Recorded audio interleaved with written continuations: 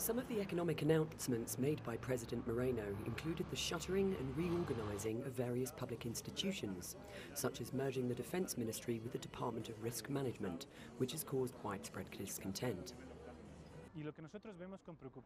We are concerned about the restructuring of the entire ministry and what it means for risk management, as well as everyone who's about to lose their jobs. The citizen revolution movement condemned Moreno's economic measures, calling them neoliberal demands made by big businesses.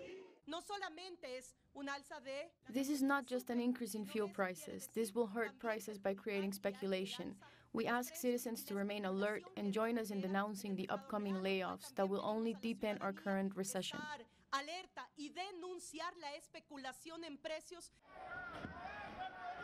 Social and student organizations have announced plans to mobilize and protest throughout Quito to reject Moreno's economic measures. As university students, we want to express our solidarity with those that will be affected. There is no progressive government in power here. It's the IMF and the World Bank running the show.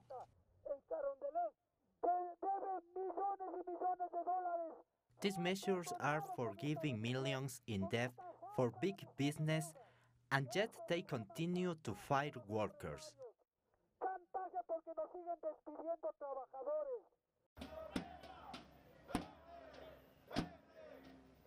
Leaders of the citizen revolution movement have also said they're organizing long term protests across Ecuador against the government of Lenin Moreno.